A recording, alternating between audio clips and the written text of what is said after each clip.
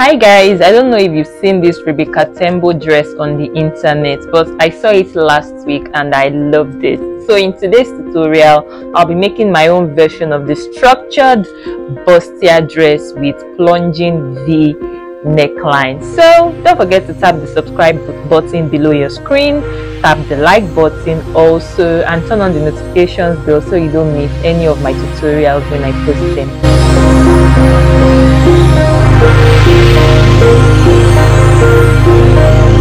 So guys, to make today's um, dress tutorial, to make today's um, mini bustier kind of dress tutorial, um, the first thing you need is your basic dress block. And what you need for your basic dress block is your close fitting basic dress block which is the pattern that already has this upper dart on it. So if you would like to learn how to draft this pattern if you don't know how to draft it and you would like to learn how to draft it i teach it in my beginner class where i teach how to draft all the foundational blocks of pattern drafting. So you can always reach out to me on instagram on at mayowa underscore oye if you would like to enroll so let's proceed. Now the next thing i'm going to do is to decide how long i want the dress to be. But if you look at the inspiration that is the Rebecca Tembo inspiration um, you would see that it's a really really mini dress except you want yours um, longer then you make it longer. But the beauty of the dress is in making it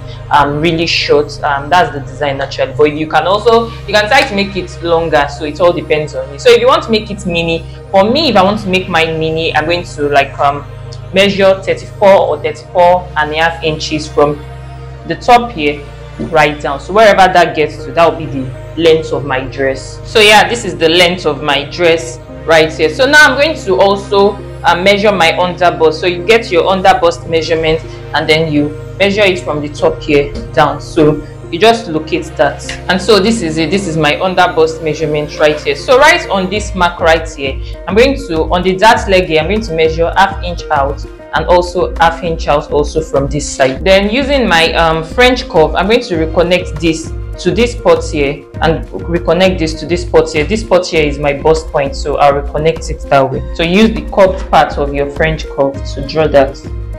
And that's that. So now i'm going to reconnect from here back to my waistline and reconnect this back to my waistline so yeah now let's work on the neckline. So for the neckline the neckline is a kind of deep v plunging neckline. So um, i'm first going to locate the depth that is how deep i want the neckline to be and also i'm going to also locate the height that is how high i want the neckline to be at this spot right here. So first let me um, mark in the depth of my neckline. So because the neckline is really deep you can just measure like maybe 12 inches or 10 inches from the top here except you don't want yours to be deep then you can just like reduce that. So but for me i'm going to measure 10 inches or 12 inches rather. So yeah this is the depth right here. So now i'm going to measure how high i want the neckline. So from the top here i'm just going to measure 5 inches. So it will be at this part. So yeah this is the height right here. So now let's connect. So we'll connect this this way. So we'll connect this this way because it's a v-neck plunging deep v. Connect it this way. Then the rest bit of this here we connect it to the armhole right here. So i hope you got the drift. So i'm just going to place my um, french curve this way. So yeah that's that for the neckline. Now everything i have here just to give it a tighter fit at the top here everything i have here i'll measure what i have from here to here. Then i'll now measure it from here outside. So i hope you got it. So yeah this is it pretty much. So i'm going to connect from here back to my bust point right here. So yeah that's that for that. So now because this neckline here it's a um, wide neckline it's a deep neckline there's a possibility that when you are done sewing it's going to gape. So what i'm going to do is to draw a dart right here and then i'll connect it to my bust point here. So i'll just draw a line to any point on my neckline.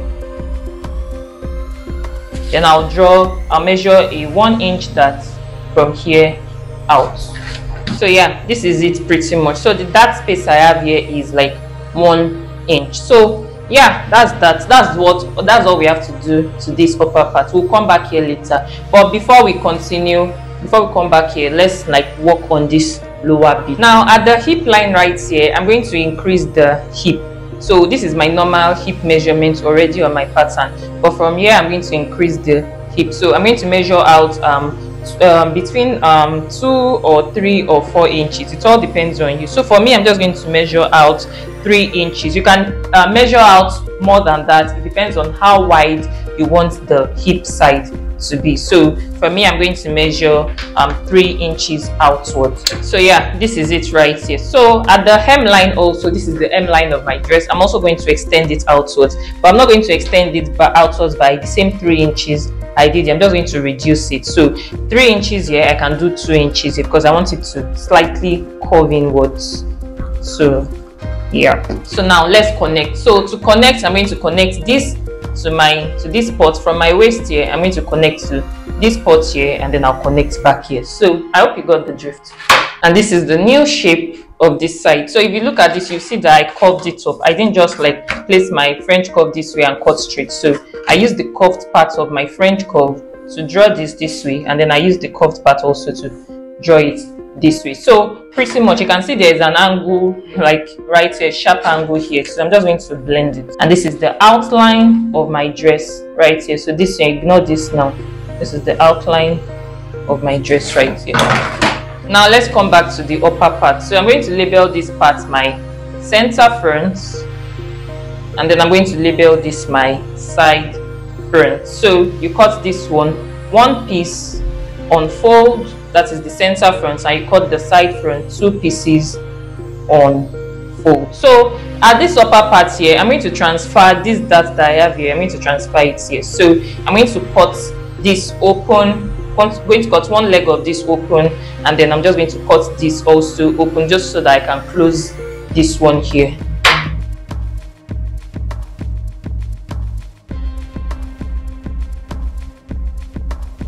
So yeah this is it right here. So it's already transferred it so you can see that the neckline is um, um distorted. So i'm just going to reshaping my neckline.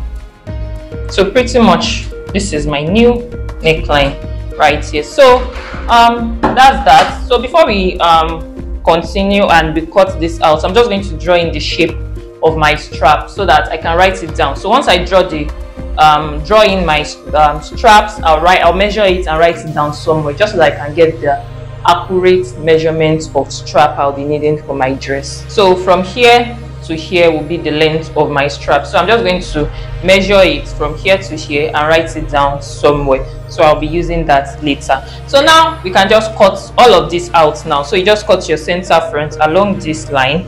Then you follow this line i hope you can still see it yeah this is it so you follow this line and then it comes this way this way this way out and then your side front you cut it along this follow this this way this way you come this way and then you follow this line this way and then out. So yeah that's that. I'm just going to do all of that now and then we'll move on to the rest.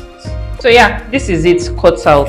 So this is my center front this is my side front. So i already added a one inch allowance to the side here. So remember to also before you cut this on your fabric you add a half inch allowance to the middle here half inch also right here. So that's that pretty much. This guy this part here is just like a border line so you can either cut it off and or you fold it. So i'm just actually going to fold it. So that's that. So now let's work on the back pattern.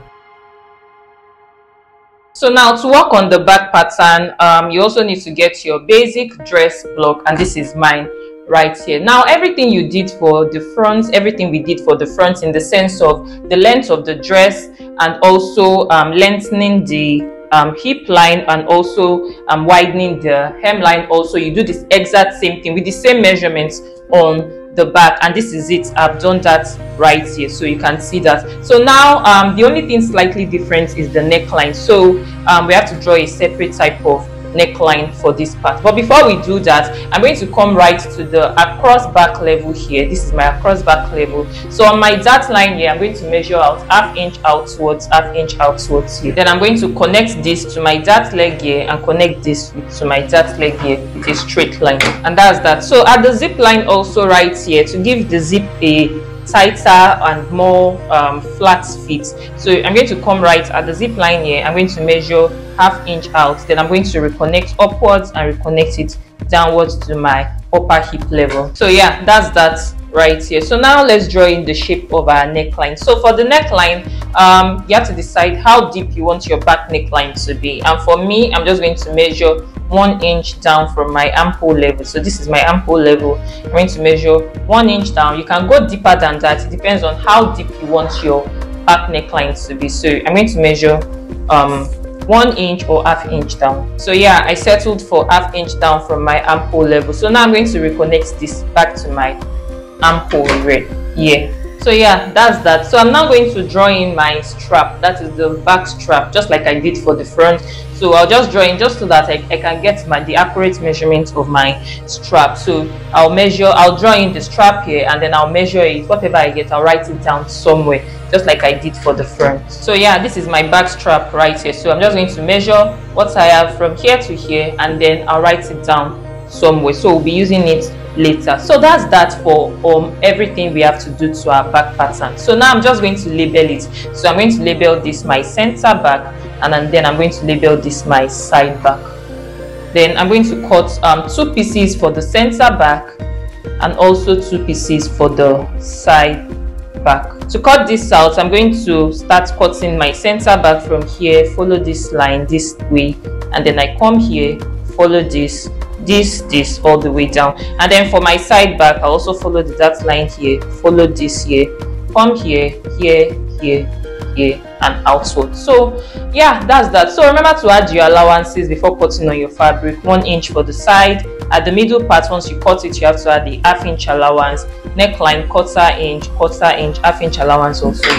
So that's that. I'm going to do all of that now and show you the um, final look of the pattern. So yeah, this is my cut out back pattern right here. So I already added my one inch allowance to the side here. So when I'm cutting on my fabric, I'll cut, I'll add half inch here, half inch here. So yeah, that's that. So now I'm just going to go ahead to cut this on my fabric now, and then I'll just give you um, some little um, instruction on how to sew it and put it all together.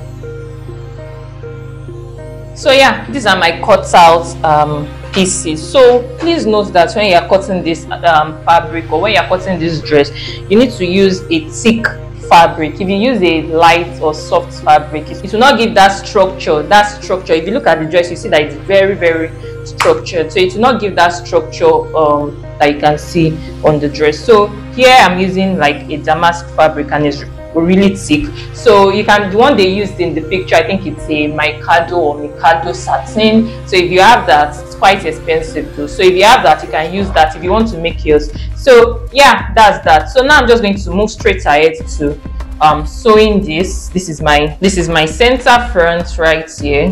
So and this is my side front right here. So i'm going to be sewing this to this at this side and then sewing this to this also at this side. So i hope you got the drift. So by half inch you sew by half inch here here and then you do the same also for the side back. I didn't cut a lining for this because it's just for my miniature but when you're cutting yours you know you have to cut a lining. So you cut your lining exactly the same way we have here. So that's that. I'm going to join all of this and also join the one for the back so that you can see. So yeah this is it. Sewn this is my front. This is my back. You can see the bust area of my front right here so yeah this is the back. This is the part we'll be attaching a zipper in the middle right here so let me just keep this aside. So for the front look at this.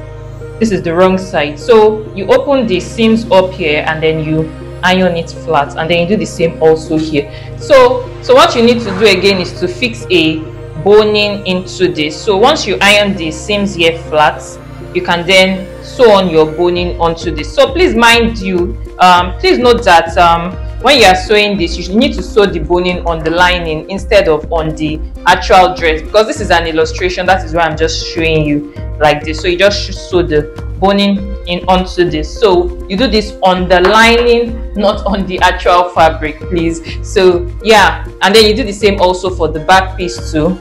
You iron the seams flat and then you fix your boning to this to the middle. So not on the actual fabric but on the lining. So yeah. So once you are done attaching the boning then you need to fix your strap. So this is my strap. Remember the measurements i asked you to write down earlier for the front and for the back? So you just add those two measurements together. Front strap add it to back strap. Whatever you get is going to be the full length of your strap. So you add your um strap right here and then once you add it this way then you place your lining over it so you place your lining over it and then you sew down. So by the time you are done sewing it's going to fall this way. Then once you are done doing that then you do the same also for the back. You place this also to the back and then you sew down. So yeah once you are done doing that then you place both the front and back pieces together right sides together and then you sew one inch at the side and also one inch at the other side. So i'm just going to do all of that now and then i'll show you the next. So yeah this is what your dress would um,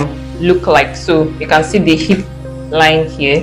So and this is my strap already attached. So let me just turn this inside out so that you can see. So now at the side here you know pretty much we have to add attach our zipper to the center of our back right here. But before we do that just come to the side right here and iron it flat.